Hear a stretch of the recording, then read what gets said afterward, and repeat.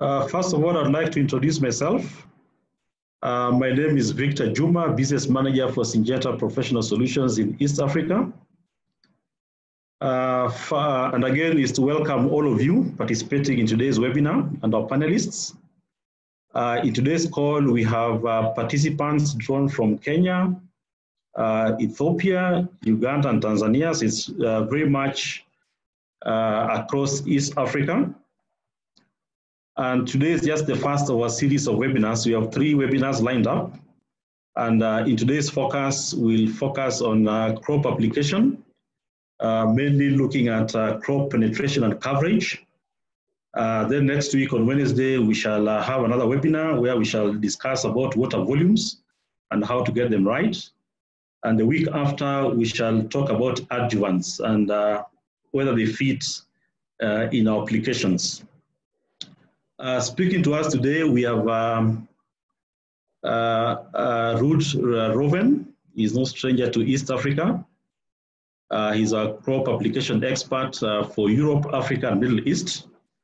Uh, we also have Mr. Mark Friesen, based in our Switzerland office. He's our application manager responsible for Africa, and he takes care of all the trials regarding application, crop application and he also has uh, some experience uh, of Kenya. So both of them are not strangers to Kenya or East Africa. So they are well aware about our cropping culture and uh, the way we, uh, we, we, grow our crop and spray. Uh, I'd also like to introduce um, the team from Syngenta in Kenya. We have our technical manager, uh, Ms. Daisy Ngeno, well represented. We have crop advisors, uh, Biruk Melese from Ethiopia. We have Daniel Weremba from Kenya and Kennedy Onyango also from Kenya. As you can also realize, all of us are on mute except uh, the panelists. Uh, and we'll be expecting that uh, you put in your questions uh, through the Q&A uh, section. If you look at your computer or laptop, uh, just beneath it, you'll see a section on Q&A. So kindly use that section and not the chat section to ask uh, your questions. You can put in your comments, also send in your feedback. And uh, if you have any technical issues uh, regarding um, the webinar, you can also post it on the Q&A section. And finally, we shall record this webinar uh, so that you can use it for future reference. And those of those who missed the webinar can also have a chance uh, to see what we discussed. Uh, thank you very much, and I'd like to hand over to Mr. Ruud uh, to set the ball rolling. So thank you very much. Well, thank you very much, Victor. Thank you uh, for this invitation to, uh, to talk a little bit about application. Um, this session will be uh, not to judge on how uh, applications are done in, at the moment, but it's more to create awareness of perhaps how we can improve applications. Um, as Victor already told, Mr. Mark Friesen from the Global Application Team will joining us. And he will assist me when there are uh, questions, perhaps in the, in the Q&A at the end. And Mark is joining the Global Application Team of Basel, um, which we are very proud to say that this team has all over 35 years of experience in doing application trials all over the globe, all over the world, and all kinds of uh, uh, crops.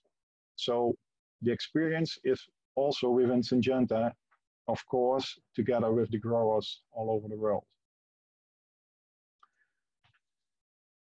So, as I mentioned, it's not to judge whether something is done right or wrong. Uh, but when you look at this picture, you see a lot of mist hanging over the top of the crop. This mist will evaporate, and when it's evaporated or will drift off, it will never come into the crop. So this is a uh, this is this is a pity. This is a loss of product, which you could better have on the crop. Um, um, this together would bring, um, we would like to talk about you about uh, droplet sizes, etc., to improve efficacy save money and save also, which also important, is save the environment. So when you look at application uh, uh, quality, the first thing is uh, the product itself, its intrinsic effect. We say normally 50% of the product is 50% uh, of the result is the intrinsic effect. The other 50% comes from you. So that makes that the sprayer and also the crop manager, they have a real important job to control issues on the farm, like diseases and pests. It's about timing of the application. It's a setup of the equipment and the calibration, using the right nozzle to get the best coverage and penetration.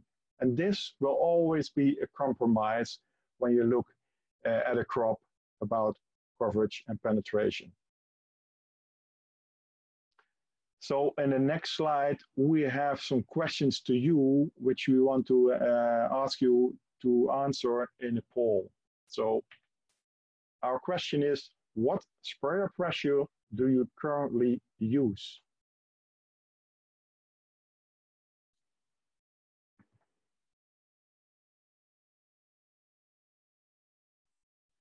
Uh, can everybody see that? Uh, should have just come up as a pop-up. There we go. 11 to 20 bars. Okay, it's changing still.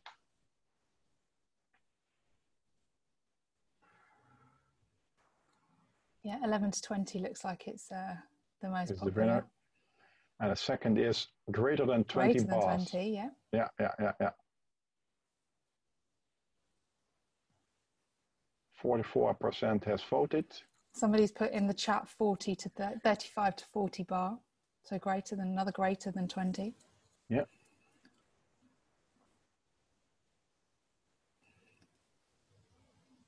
Anybody else for voting? We're 50% now. Yeah. Oh, a couple more. Yep, I think that's uh, I think that's pretty clear. I'll uh, I'll end that poll now. Yeah. So 11 to 20 bars is 55% of the uh, delegates, and the other is 40% greater than 20%. So it means pre a pretty high uh, uh, pressure on the nozzle. Do you? Do I have to click it away again? No, so it should it should be gone.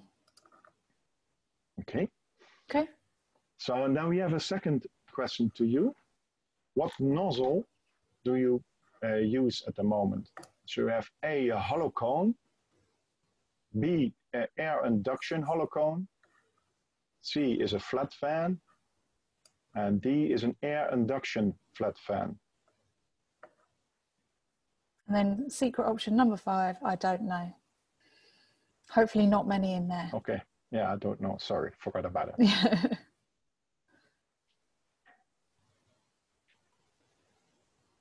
oh, it looks like Hollow Cone is uh, winning that one. Yeah, I guess so. Yeah. Yeah. Is that what you thought people would do? That's what I thought people would use? That's what we understood, yeah. Yeah. yeah. That's good. Yeah, another vote in the uh, chat for Hollow Cone. Okay. Lovely. So that makes, uh, we have, um, you have over 75% that uh, has chosen the Hollow Cone nozzle.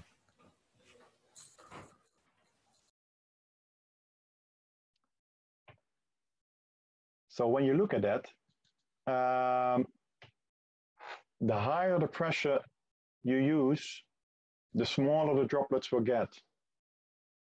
And also the, the, the choice of using a hollow cone nozzle means small droplets. And small droplets, they are really a big advantage when you look at coverage. But is it only coverage that we are looking at? Or can have also small droplets have a disadvantage? That's the thing we want to talk about with you today because the importance of droplet size, when we look at a fine droplet, you have a uniform coverage. That's fantastic. But have you a higher efficiency of the product? Well, that first starts with the question, which kind of product do I use? Do you use a systemic or a non-systemic product? Because finer droplets, they dry earlier. And a systemic product has to be in solution for uptake into the leaf. The sooner the product is dry on the leaf, the sooner the uptake will be gone. A non-systemic product should be really nicely be covered on the leaf, and then it can be an advantage. However, our formulations have also uh, included adjuvants, which can help to uh, improve the spreading also when you use a coarser droplet. The disadvantage of a fine droplet is the high drift and evaporation potential, which is a threat, threat for your wallet and for the environment. And can be also giving you less, um, less efficacy because a lot of product is lost already. The other thing is it has a poor penetration capacity. So when you have some targets that are deep in the canopy, you just can't reach it because all the spray liquid will be on the periphery of the crop. Then we have coarser droplets. You have less coverage. That's, that's completely true. Lower efficacy of the product, that can be some issue in some cases. But the big advantage is you have lower drift and lower evaporation potential, which is really good. And it has a high penetration capacity. To find the right balance between those two, the coarse and the fine, to have best of both worlds, that will bring you always in a split. It's always a compromise. But you have always have to consider what the purpose of the spraying is and which product you are using. So when you look at droplet size influencing factors, the first thing is what is really influ influencing uh, is the pressure. The higher the pressure, the finer the droplets. The higher the pressure doesn't mean a better penetration because you're creating way much finer droplets. And they have not the power as a really coarse droplet has. So the lower the pressure, the coarser the droplets. Then the nozzle size, the flow rate. The, small, the lower the flow rate, the smaller the droplets. The higher the, small, uh, the flow rate, the larger the droplets. And flow rate means how much of the liquid will be uh, uh, coming out of the, the nozzle in one minute. So that's the flow rate but even nozzle size, which is uh, uh, a thing that is more important than nozzle size, is a nozzle type. And you can choose between a lot of nozzles. And when you look at the hollow cone nozzle, completely at the left of this slide, it produces only very fine to fine droplets. And that's, that can be of some issue. So droplet size and coverage will always be a, a compromise. Of course, with the same um, volume of uh, liquid you have with 50 microns, 512 droplets. With 200 microns, you have only eight droplets. This, this is a nicer coverage, but is only coverage the main factor you have to uh, look at or is also the, the time that a product is in, in, a, in a solution a factor and can it be spread by some adjuvants that can be a factor. The other thing is those 50 microns, they give you a nice spreading on the leaf, but will it reach the leaf? Will it actually be there or just drifting around in the air and then evaporate? This is the main issue you have, you have to think about if that's the right choice to do. Sorry, the other thing is to consider also the mode of action. So fine droplets, they are dry really easily. And when it is a systemic product, there will be no uptake anymore of the product. So the effect of droplet sizes, it's always a, uh, it's, uh, it's always a compromise. You can see here the BCPC classification. So all uh, nozzles are classified for a, a, certain size of droplets. You can see here the ultrafine is 50 microns. And then you have the ultra coarse, it's bigger than 622. Now this, this is really, you have to look for the, the compromise in between this. When you look at ultra fine, the coverage is fantastic. And with ultra coarse, it's really too poor. But when you look from the other hand to how the penetration capacity is of this ultrafine nozzle droplet, that's really poor. And for ultra cores, it's really strong. You can just throw the droplet further than you can throw a really small droplet. And the other thing is, when you have an ultrafine, it's not only throwing the droplet, it's also the risk of drift. They're really driftable or evaporation, so it never reaches the crop. And this risk is an ultra coarse really low. So finding the right droplet size is a compromise in between penetration and coverage, between the risk or drift uh, and evaporation. So when you look at a medium-sized uh, uh, uh, nozzle, it produces a nice in-between uh, droplet size. So from 177 to 218. It just doesn't uh, produces one size, it produces a, a, spectrum of droplets, smaller and coarser ones. But in, in general, it produces the better uh, sized droplets. So a nice compromise to use in your crop. Then when we come to hollow cone nozzles and droplet sizes, we saw it before that it was completely on the left of your slide. When you look here, this is a graph of the, of the manufacturer, and this is TeeJet. And when you look at, take a close look at it, what, which uh, pressure you even use from two bars until 20 bars. There are people who use 20 bars or more. It's all fine or very fine, which indicates that there are really small droplets which can uh, evaporate or drift really easily off. So just beside that hollow cone nozzle, you have also an air induction hollow cone nozzle. And when you look at it, it produces coarser droplets, even very coarse when you, you use a really low pressure. But when you go to higher pressures, you can produce medium-sized droplets. So that this could be uh, a good alternative for a normal hollow cone nozzle. Air uh, air induction nozzle means it sucks a little air into the spraying liquid, but makes the droplets coarser.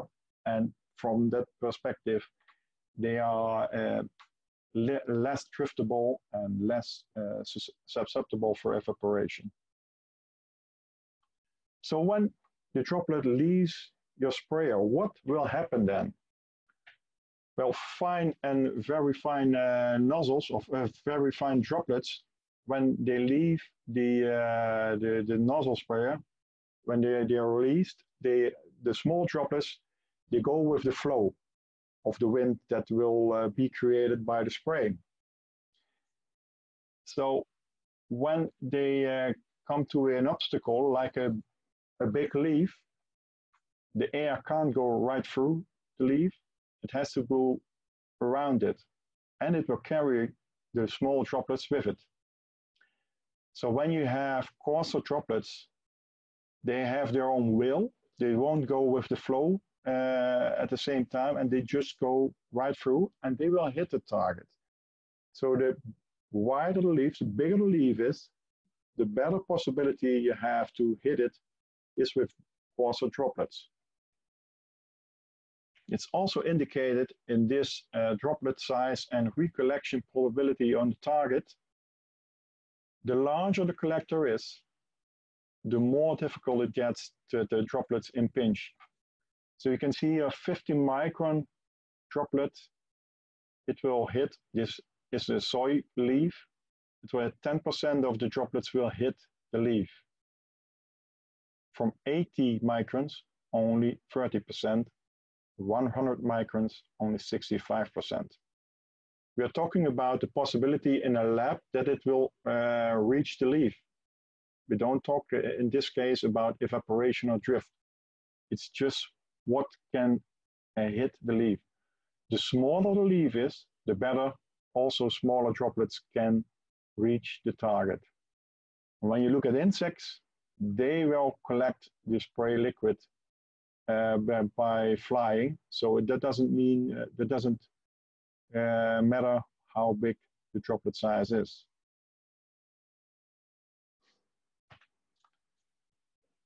In the next slide, we're going to show you two videos. These are high speed videos.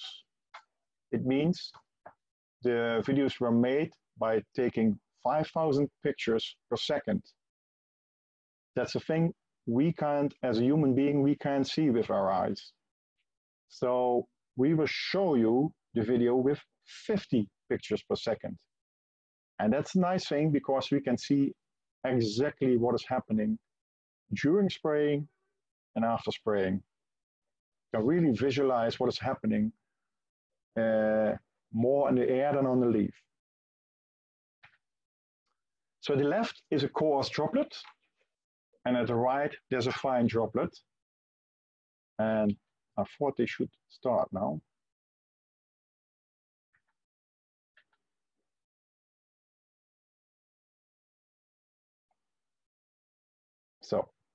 Some technical issue. If you look at the right, you can see nicely the droplets falling, and more or less, that's it. But when you look at uh, the left, sorry, when you look at the right, you can see the mist, and the mist is hanging around there for a lot of seconds. This mist will never reach the crop, or just a small, a small amount of it. And what we uh, measure there also is that 80 to 20% of the smaller than uh, droplets were smaller than 150 microns.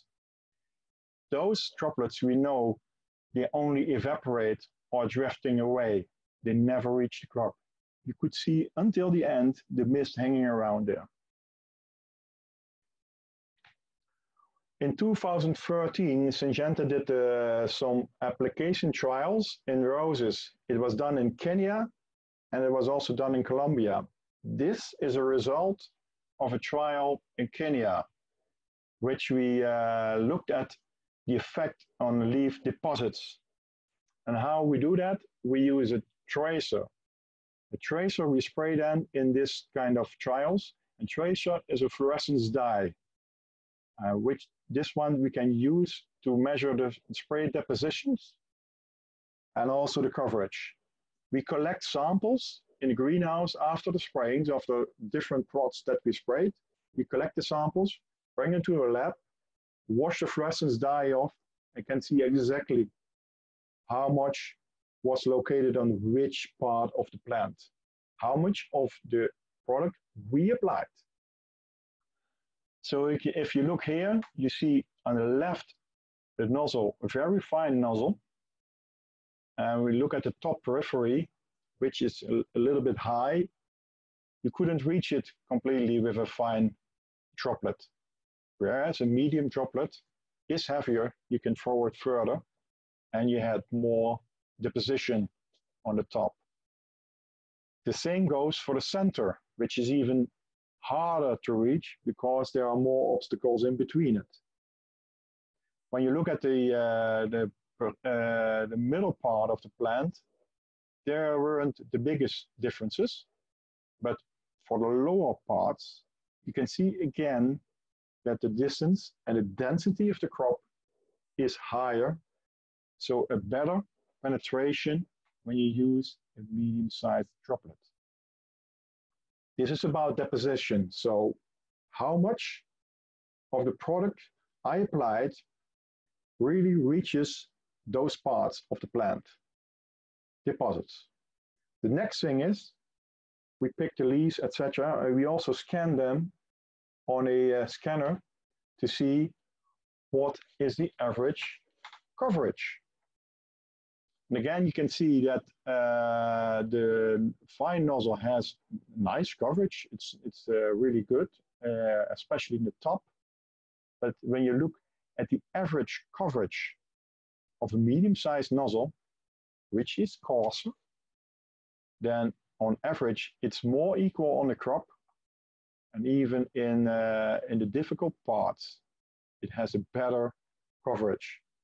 So the small droplets only made a better coverage in the top, but for the rest, the medium sized had an average uh, picture that was better.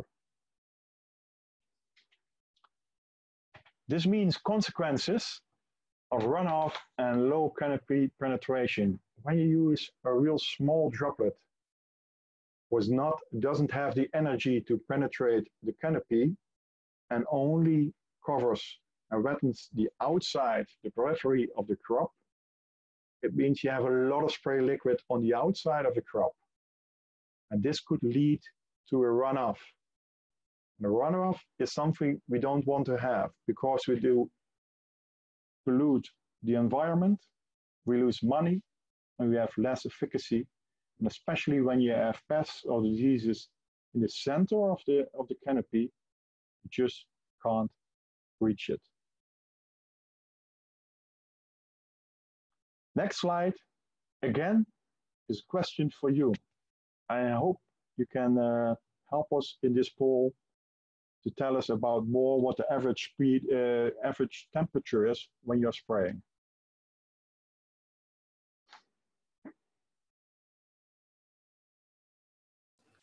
There you go. You everyone should be able to vote now.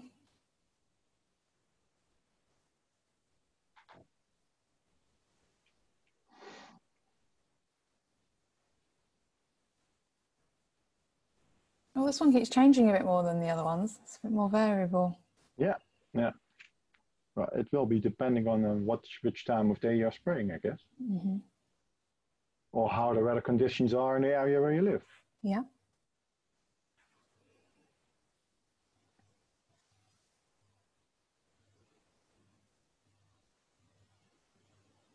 That's quite evenly split between yeah. 15 and 25 degrees. That's good. Yeah, okay. Thank you.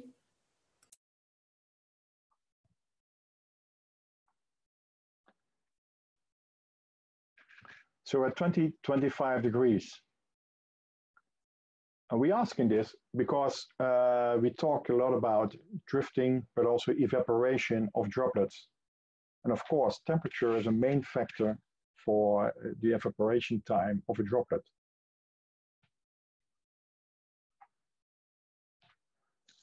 When you look at here, the droplet evaporation and droplet lifetime with a relative humidity of 30%, which is really low, and it has also a big influence, but we'll see that later. On a temperature of 25 degrees, when you look at droplet sizes from 80 to 150 microns, it will be disappeared, evaporated within 10 seconds.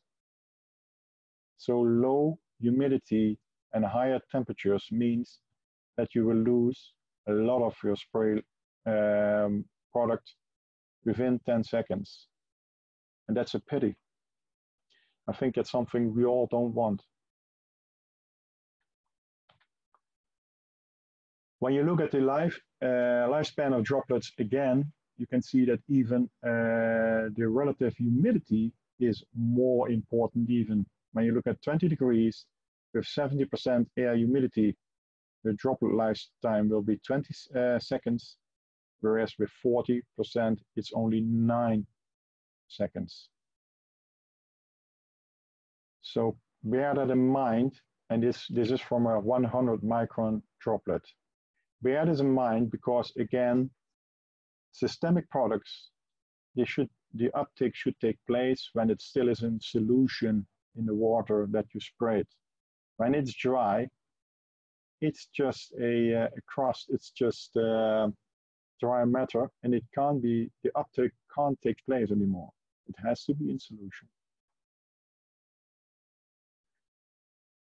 When we look at this, then we look at the evapor evaporation rate uh, uh, when you look at the uh, droplet size. The evaporation rate increases a tenfold when the droplet size increases from 450 to 200 millimeters to 200 to 100, a tenfold. So you can see how important the droplet size is. Um, then we come again to the uh, to the coverage of a uh, of of the product. Dro uh, bigger droplet sizes, they have a poorer capacity of coverage. But when the product is longer in solution, the uptake will uptake will be uh, take longer. It will be longer, so more time to have it getting into the leaf. So when you look at this picture again, we see again this cloud of mist above of the, uh, the crop, which will be caused by a high pressure and a small droplet size. Perhaps it's rude to say, but when you look at it, it could mean that a lot of money goes up in the air. It will get, get in, uh, in the environment it's not where we want to have it. So it's a loss of money. It's a loss of environment because you're polluting environment and it's a loss of efficacy. And we want to keep our products into in the market and we don't want to lose it because of uh, resistance issues, because the products don't work, because you under uh, on a do, uh, you, you spray a lower dose rate because a part of it is just um, evaporating. The second thing is we don't want to lose products because there is more pressure from the government that we should take care of our products, that they don't, uh, shouldn't be found outside in the environment. And the third time is we want you to have a nice result when you did spray and that you have most out of, you get most out of your money when you do the spraying. So the first part of a general recommendation would be try, let's see, let's find out for yourself if you can move from a very fine, fine uh, droplet size to a more medium sized droplet size. So you have a better penetration, less drift, and less evaporation. And a longer time that the product, the up, uh, uptake of the product will be. And the other thing is, think about the timing. Spray in the early in the morning or late in the evening when the relative humidity is high, the highest of the day. I, I know it's always a compromise. You also have to apply a lot, but it's not always easy. But bear that in mind. The lower the uh, RH is, the lower the results will be. So we come back to the hollow cone nozzles and the droplet size. I'm sorry we saw a lot of people use the hollow cone nozzles, but I think try to use hollow cone nozzles with an air induction system in it. It creates coarser droplets until medium size you can have because the very fine and fine uh, droplet sizes of the normal hollow cone is no option anymore. We can't afford it to carry on like that, we think. So please bear in mind it and try if you can figure out to do it in a different way to keep our products in the market so we can help you to, uh, to protect your crop. And uh, yeah, I think that's the most important message we want to give. So Asante Sana, and you can put your questions in a Q&A. Thank you, Ruud. Uh, so yeah, we actually do already have a couple of questions. Um, so I will, I'll read them out um, for you. I think one of them you may have already answered is from uh, Tom. So when using systemic active ingredients and non-systemic actives, do you still need to have the same coverage? I think the contact with the leaf is of, of course important. The more contact you have, the more uh, ways to getting into the leaf is important. But when you only do it with, uh, with very small droplets that evaporate really easily, is for non-systemic products not really the option because it's only getting into the leaf when it's in solution. And believe me, the uptake can be really slow. So you have to give it the time. So the time is key in that. Give it the time to have a decent uptake. Okay.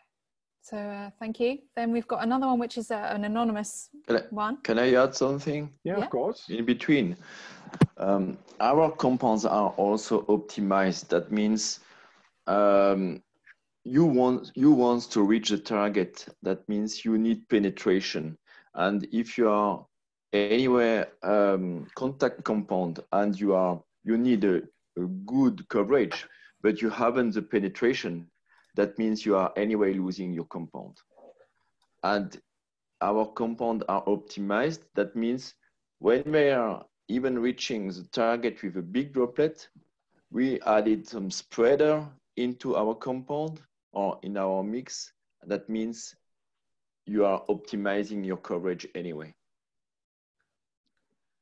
Thank you. Okay, so uh, yeah, the anonymous question we have here is, do adjuvants affect the droplet size? I think in, in general, uh, they don't affect really have a big influence on the droplet size. Uh, key is then pressure and the nozzle type you're using. 10% uh, can be influenced a little bit by an adjuvant using adjuvant. But more key is, I think, what an adjuvant can do for, for the retention. So if the droplet will stay on the leaf and how the spreading will be. I think that's more important for an adjuvant or even the uptake into the leaf. That's more of key about using adjuvants. Okay. Also, don't forget we've got our adjuvants webinar in a couple of weeks' time if you want uh, some more information on adjuvants from the team. So then we've got one from Dennis, actually we've got two from Dennis. So first of all, um, is there any effect of the flow rate of the solution being sprayed? Sorry? Uh, is there any is there any effect on the flow rate of the solution being sprayed? No, not today. Okay, uh, that's good. The, so the second one, which is the main question, um, does the distance between the crop, crop or leaf and the nozzle affect the penetration efficacy of the solution? I think uh, the penetration, uh, not, but uh, the wetting of the outside of the crop, yes. Do you have something to add to that, Mark? Yes, exactly. In fact, you're right. Uh, a nozzle is optimized for a distance. That means you have an angle. And this angle has to be sprayed on a certain distance. That means for um, 80 degree angle to cover the right um, the right this the, the right uh, spray swath, you need 60 centimeters, 50 to 60 centimeters. That means um, if you are not, if you are too close to your target, you will not spray the right spray, spray swath. And in the end, you have much more uh, liquid on the periphery from your, from your uh, crop because the first leaf which uh, which are reached with the nose with the um, droplets are wet and you are creating runoff in this case. Okay. Okay. So um, a couple more. Um, God, there's actually quite a lot in here now. That's been really good. Um, That's good. um, okay, so what is the relationship between spray timing and targeted pest? In um, spray timing, I think you talk about the time of the day. I think it's really important to bear in mind that when you spray uh, somewhere in, in the afternoon, that um, the humidity is pretty low. and the, the product will be dry in an instant when you think about that. So I think spraying time shouldn't be in that period of time, but should be early in the morning or late in the evening when time to dry is as long as, as possible. I think you shouldn't watch at the, at the target from that perspective, but be, be aware of that product. The uptake has to take place. Okay. Have you got anything to add, Mark? In fact, the, the, the point is when you are applying, even if you are applying with, with uh, middle droplet size, medium droplet size, sorry, uh, you have a, a, a, range of, of, of droplets. That means you have anywhere small droplet size in this range of droplets because it's an average. Medium means an average. And if you are applying in the evening, you are anyway, if you have medium droplet size, you, are, you will anyway lose this small droplet size. You are losing less than if you would apply with a small droplet size in average, but you are anyway losing some. That's what we want to avoid. Thank you. So this is quite a specific one, I think. What is the recommended nozzle type for thrips? I think when you come, uh, when you look, well, we uh, we want to conduct some trials, of course, in the future in uh, in roses in Kenya. But I think when we look at at the moment at the situation now, and also the thrips are located in the in the butts of the of the roses. As we saw with a medium-sized droplet, you can reach it easier than, than with the really very fine. So the recommendation would be, I think, the, the hollow cone air in, uh, induction nozzle. So you can create a little coarser droplets, so medium coarse droplets that reach the target easier than when you spray with a very fine nozzle. I uh, guess that, sorry. Oh, yeah. I, I guess that for the moment they are they are applying a high water volume and they think that they with this high water volume they are reaching the target. I believe so. Hmm. But in same time, if you are applying the real high water volume, that with small droplet, that means you are increasing as well the runoff. That again, you are losing some money. You feel that you are reaching the target, but in the end, it's, a, it's not a win-win situation. You are losing a big part of your compound in this case. Mm -hmm. That increasing the, the droplet size means increasing the penetration. That means reaching the, the, the difficult target.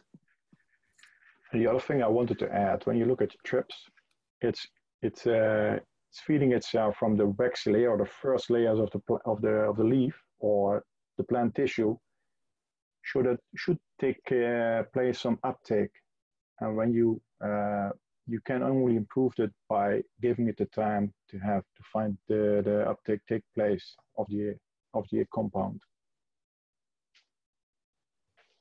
okay so this is uh, perhaps less less relevant to um, crop coverage but i think it is, is an important one to cover Suppose the product has been under proper storage conditions but has been expired. Can it still be used? What would be the side effects of using this expired product? That's depending on the formulation type. You, you can't just answer that from, uh, from behind the computer. Um, the, the problem can be when you have an expired product that uh, the formulation is, um, you have some, how you call it, Liz? on the on the on the bottom of the bottle.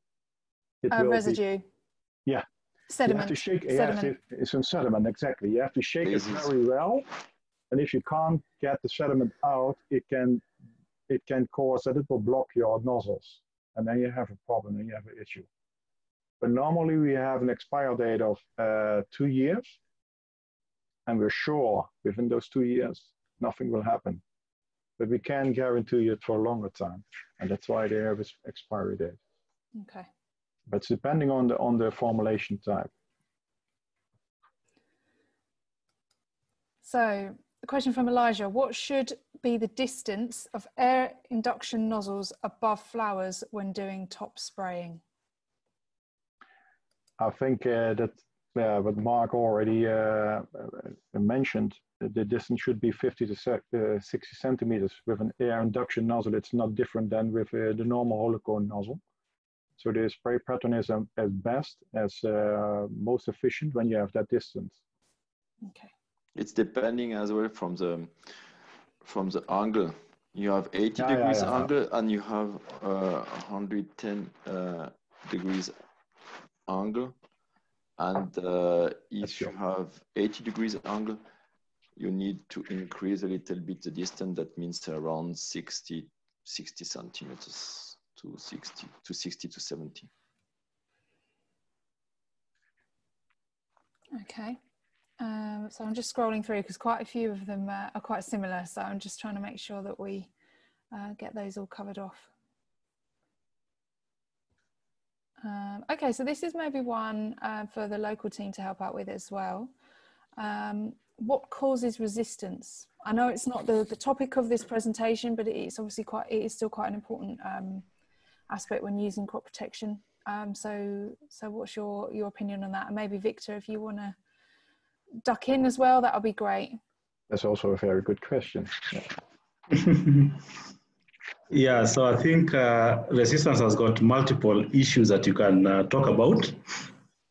So one, like um, Ruud mentioned, if you have a poor spray deposition and you're not putting the right amount of dosage on the particular pest or disease, then you're, we are exposing the pathogen to sublethal dose.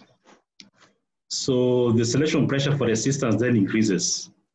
So getting the right um, application techniques, the right coverage is quite important so that you apply the correct AI to the target.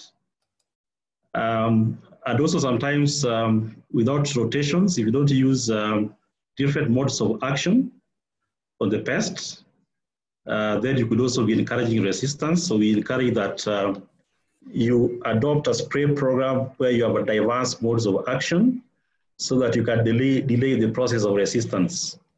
So I think there are multiple factors that you can look at when you're talking about the issue of resistance. Do you have anything else to add to that, Ruud? No, I think that's it's pretty good. Question. That's yeah, a pretty yeah, good yeah. answer. The the slide with the both trees uh, in your in your presentation it was really was really clear. That means if you have only 20% from the from the from the compound reaching the middle from the tree or medium reaching the middle from the from the the crop, that means you are creating a resistance issue in this situation. If you have 80% outside and 80 and 20% in the middle, in this region from the crop, you are creating a, a resistance issue. Okay. I hope that helps whoever asked, asked that question. Um, so just scrolling through these, um, there's a lot of questions about um, droplet size um, when targeting thrips, especially um, as a specific pest. Mm-hmm. Um, just thinking for if people want to, and some people have, have had some connectivity issues. Um, this we have recorded this webinar, so when these are over, we will upload them to our website so you can watch it back. Um, and also, a couple of people are asking about the the tables um, that you presented. Maybe they could be sent out from the in the WhatsApp group potentially. Um, so we can maybe explore if we can send those out as well because I think those will be quite helpful. Mm-hmm. Okay. Um, so then we've got a chap uh, called David uh, from Uganda. MRL is a really big issue. What do you think is the most common flaw in spray application application that leads to MRL exceedance? The, the floor, you mean? So I think we have to distinguish uh, a few things. MRL means maximum residue levels. It's uh, it's for consumer goods. So uh, okay. with consumer goods, I mean food, and nobody eats roses. So the first thing is when you look at an MRL, it's maximum residue level, and it's after good uh, good agricultural practice. So when uh, a product gets registered, for instance, in peas, uh, there is first a good agricultural practice. So how often can you apply it? And then we get a, uh, a pre-harvest interval. It means in a lot of uh, uh, cases for peas, for instance, that will be two weeks. So then they're going to determine how high in good agricultural practice the MRL will be on this piece. And they will say, okay, it will be up 30. We build in a little bit of, uh, of, of uh, risk uh, and we put the MRL on 50. It doesn't mean that 50 is not uh, is uh, when you have 70 it's not safe anymore it just is a trade value a number in trading so for peas it can be 30 but for strawberries it can be 250 it's just about good agricultural practice. And after that how much of the residue still can be in. When you then go to roses you don't have a pre-harvest interval. You don't have uh, the same number of applications you have to apply. So it's really, I know you have to face it, but it's from, from one uh, perspective, it's really ridiculous that you talk uh, in roses about MRLs, which are not existing. But when what can uh, give you a higher uh, level of MRL, I think would be that you don't respect a pre-harvest interval if it exists and the other thing is, how often did you apply the product in the period? So did you apply it three times, four times, or two times, or one time? This will determine whether you exceed, exceed the MRL or not. Thank you. Is it? It's it's a it's a big explanation. I think. I hope it's clear what I mean. Everything. I think so. But it has nothing to do with food with security in this case for roses. Yeah. Uh, so in here, there's a lot of, uh, as I say, there's a lot of questions about um, droplet size and if you're and foliage.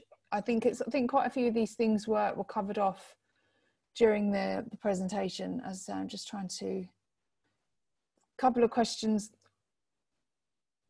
What is the type? What type of nozzle affects volume? Um, that's determined by the flow rate. Uh, yeah. And, and As we're talking about water volumes next week. Yeah. One to things. tune in for, guys. yeah, it's three things. It's the flow rate of the nozzle, it's the pressure you are using, and it's the speed where you're applying with.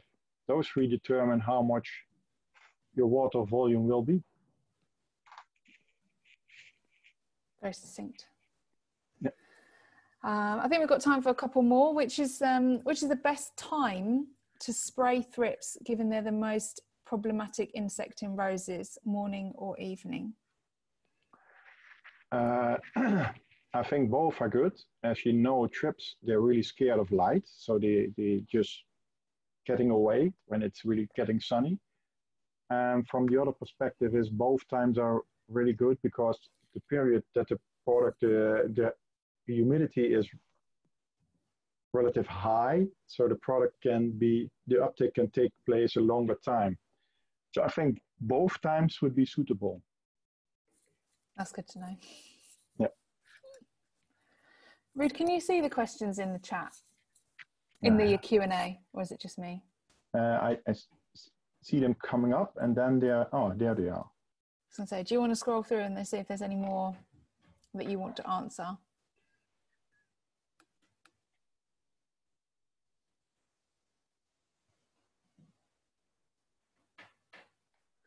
What's the optimum pressure with air induction nozzles uh, for greenhouses 200 meters away from the spray station? Well, we have to distinguish two things. And I was realizing that during the presentation, when we talk about the pressure, we talk about the pressure on the nozzle. So on the, uh, in the greenhouse itself. Because when you, we have a, a spray pressure in the pump house with 35 bars, it doesn't mean at the end of the pipe and the end of the hose that pressure will be the same. Of course not. There's a drop of pressure. So uh, what's the optimum pressure for an air induction nozzle? As you saw, the uh, optimum for medium uh, uh droplet sizes was, uh, I think, from 12 to 20 bars. But you can see that in a graph, which we will send to you. But you have to realize that this is on the nozzle itself. The other thing you also have to realize is the higher the pressure you do, the more water you consume. And that's something we will come to back uh, next week. Yes, in in fact, the main the main question is what's the droplet size you want to reach and what's the flow rate you flow rate you want to reach. And this is giving you a pressure in the end. That means pressure is not the first question you have to you have to answer. The first question you have to answer is yeah. what's the flow rate and what's the droplet size I want. I agree. And which water volume do I want? Yeah, that's related to the flow yeah, rate. Exactly. exactly. What is the effect of foliage on the effective coverage? Uh, well, that, that's that's a good question. Uh, some some crops are easy to wet, uh, others are difficult. I think roses are not really the most difficult to wet uh, leaf tissue. Uh, there are some. When you look at the vegetable uh, side, for instance, uh, brassicas, cabbages are really much more difficult to to have an effective coverage on.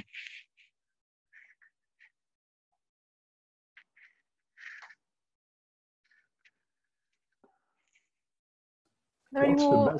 Oh, sorry. Are you going to go for another one? Sorry. Yeah, what's the best size of droplets, fine coarse, when you're spraying a fumigant active ingredients? Well, there are not a lot of fumigant active ingredients anymore in the market, but then I would uh, I would presume to uh, to use a fine droplet because they have to be in the air. So the, the finer the better. Do you have to add something to that, Mark? Oh, I think you're right but there are not a lot of products anymore. It's uh, it's the carp.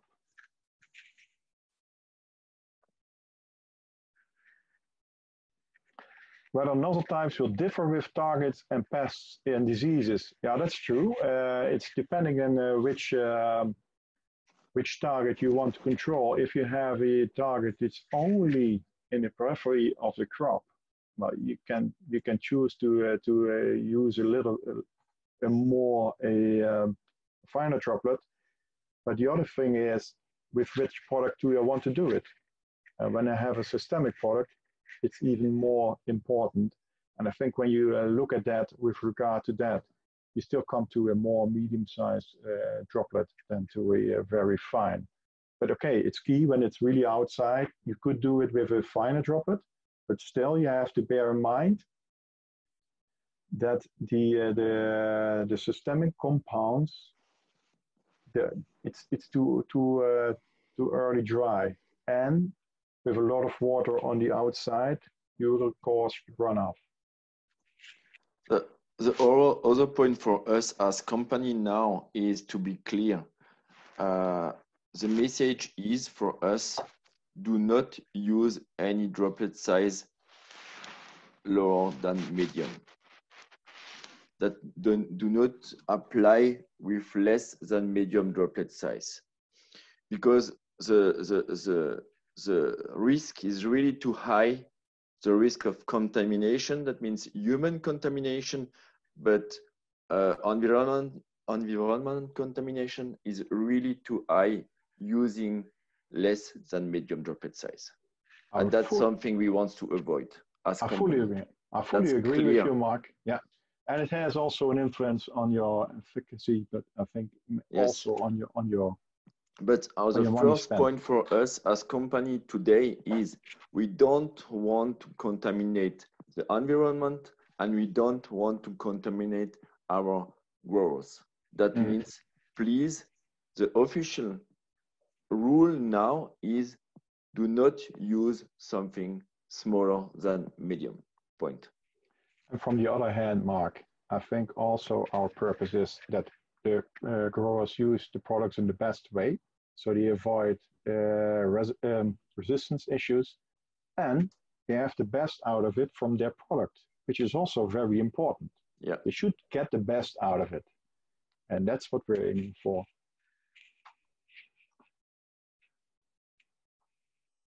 Does the location of the target affect the type of nozzle to be used? Well, as Mark explained, we want to start with a uh, medium-sized nozzle, but I can imagine when you have a really dense, dense crop, that you even go to coarse, or perhaps even very coarse droplet sizes to get a better penetration. Otherwise, you will lose everything on the periphery of the crop.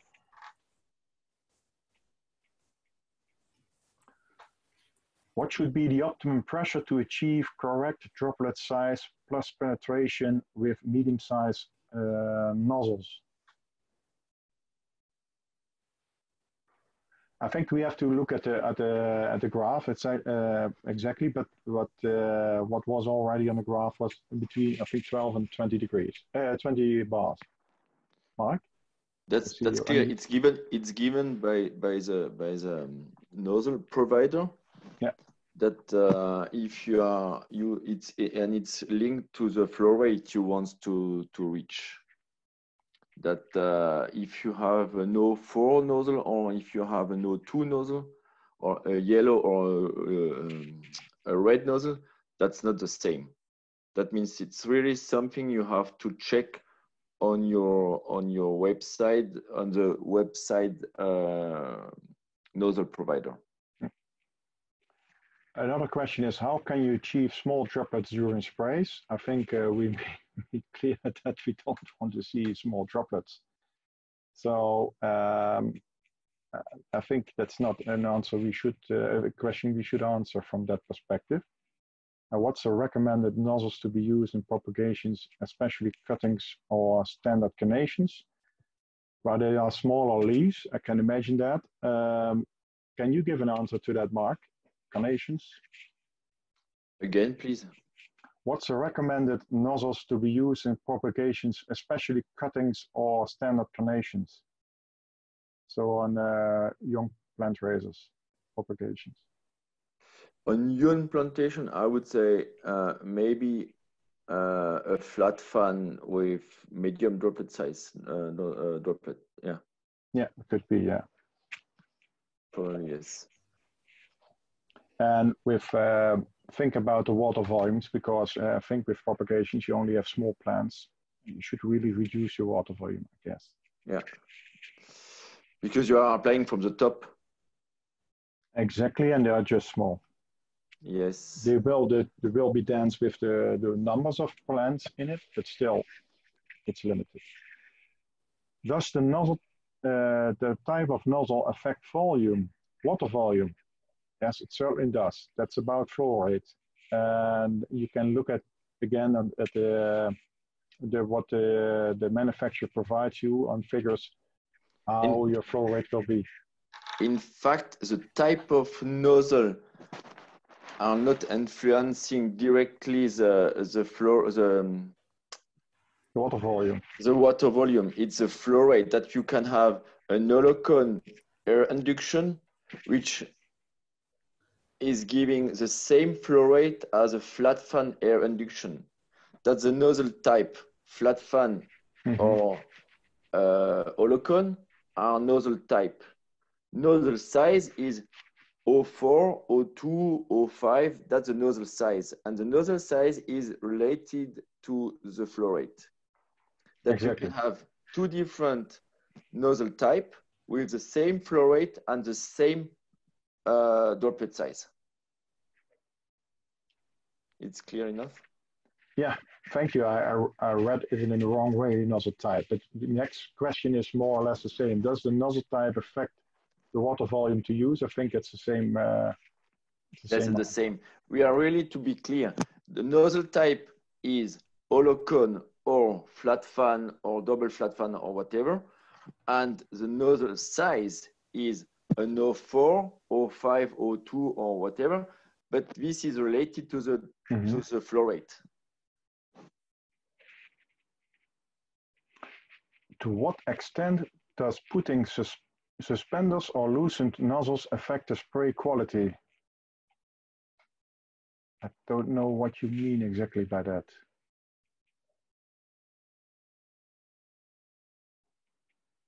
Do you know, Mark?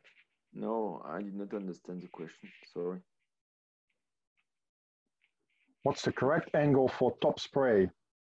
I think when you talk about a boom sprayer, it could be, it's depending on how high the boom can be above the, the crop and what the spacing is of the nozzles. Exactly. It can be 50 to 25 uh, centimeters even when you have 80 degrees and you lower boom and you have a distance of 25 uh, centimeters of the nozzles. That's also something you can find on the website from the nozzle provider. For example, TeeJet or Lechler or uh, Hypro, you can find on the website the right distance. You have some graph with the distance between the nozzles and the angle from each nozzle and the distance from the nozzle to the to the crop. And yes, in, in this case, for example, if you have a, a, a 110 degree angle, that means 50 centimeters between the, the nozzles. That means you have to, to, you need a distance from the nozzle to the crop from 50 centimeters. But this, this is something you can easily find on the, on the website from the nozzle provider. What happens when you use same dilution rates at different volumes? Two kilos in 1000 uh, liters or uh, two, two kilos in 1500 liters? Well, it's clear when you want to have a good influence of adjuvants and you make a, a, a less strong solution, so weaker solution, it means the influence of the adjuvants will also drop. So the more concentrated it is, the more effect the product will have. I think this uh, this is the answer to the question. In, in fact, the question is uh, uh, is if they are applying the same uh, surface with the both water volume or not. Mm -hmm. Um, this is a nice one. I think I disagree with spraying of thrips late evening and early morning as the pest is not active in the growing tips of the plant. Oftentimes we see this pest active during afternoon hours when temperatures are high and low humidity. What do you think? I can understand uh, your remark. You're completely right. But I think then you only talk about products with have a contact uh, activity. But a lot of products, they have a um, only a feeding activity. So when you spray them in the afternoon when the temperatures are high and you have low humidity, when they have a feeding activity, they should be in the plant tissue.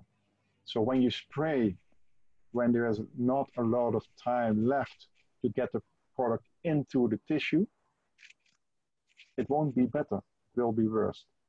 But again, when you have a contact product, I fully agree with you. Well, I think um, I think that was we should make that the last question. We still have quite a few. Um, three, three left. Uh, oh, three left. Yeah. Shall Do you want to answer the last three? Yeah, let's do the last three. Mixing chemical solutions with a little water and spray the following day does this reduce efficacy of the product? So again, this, this is depending on which compound you're spraying. There are products that really are unstable in, in water, but I think for the majority, one day leaving it, uh, you have to uh, to uh, do the uh, Mix the mixing uh, in a certain period uh, on a certain time. I think it shouldn't be the biggest problem but still it's depending on which product you're using. And also, Ruud, just to add on uh, yeah. to what you're saying, yeah. as part of good agricultural practice, just mix what you need for that particular day. Thank you, Victor. You're really right. You're completely right. Yeah. Thank you for adding this. Uh, it shouldn't be common practice to do, but I thought it's from, from my top of mind. This uh, I had made a little mistake. But from your, then you're completely right. Uh, only you make what you're using that that time. Mixing chemical solutions with a little water and sprayed the following day, does this reduce the efficacy? It's the same. Oh, sorry, sorry. How can we effectively control mealybugs? Well, that's a that's a that's a pretty good question. I think uh, mealybugs are more in the uh, deep in the canopy. So the first thing to do is to to start at least. You have a product with a um, that that can really uh, do to to spray it in a way that you can penetrate into the into the canopy. And then it's depending on which products you use and uh, if you can uh, um, if you can improve the uptake by using perhaps some uh, some adjuvants to have a better control on that. I think that, this, that means uh, increasing the droplet size to coarse to maybe ultra coarse, but because they have any they are anyway applying with high water volume, mm -hmm. that mm-hmm. means it's it's it's easy to to wet if you are applying with a high water volume with coarse or ultra coarse droplet size. Because you increase your penetration. Okay, I think that was the last one. Um, Victor, do you want to do just a little summary? Uh, Ruud, do you have any summary points to make? I think you maybe you need to rest your voice for this afternoon. I have some water still left. uh, many thanks, Liz. I think there are a couple of headlines that uh, we have picked from the presentation by Ruud. Um, I think one of the headlines that uh, we discussed was around uh, coverage, penetration, and uh, risk of drift. So I think uh, part of the recommendations is that uh, we need to look at the nozzle types uh, because they actually affect the aspect of penetration and also the efficacy of the products. The issue of observing weather, mainly relative humidity and temperatures. I think uh, Ruud summarized it quite well that uh, the two parameters actually does affect um, uh, the efficacy of the products in terms of uh, spray retention. So something we need to, to look at. And I think for me, the key takeaway from Ruud's presentation is that uh, we have to look at um, the aspects of uh, spray application as influencing the results, or overall results of what we do. So I don't belabor the point, but uh, uh, thanks very much, Ruud, for the good presentation. Thank you very much, Victor. Um, shall I do the next slide, Liz? Yes. Shall I? Okay. Oh, no, what do you want me to do? It. So, okay, so uh, yeah, as we know, we've got, um, as you've seen from the, the WhatsApp um, messages and also from the email, we've got two more sessions um, so next Wednesday, same time, uh, 11.30 and 2.30. Uh, we have um, the same session but for looking at water volumes. So some of your questions I know were surrounding water volumes. So next week we're going to be diving into that in a little bit more detail. And then on the 20th of August, which is a Thursday, uh, again, 11.30 and 2.30, we have uh, a session which we're just going to be talking all about adjuvants. Um, and that will again be probably with Ruud um, as well. So I hope you found his soothing tones um, informative. Um, and then if you would like to follow us on social media, if you don't already, uh, on Twitter and Instagram. And also we have our website where in a few weeks time, these will all be uploaded so you can watch them back um, if you need some more information. Okay. Thank you, everybody.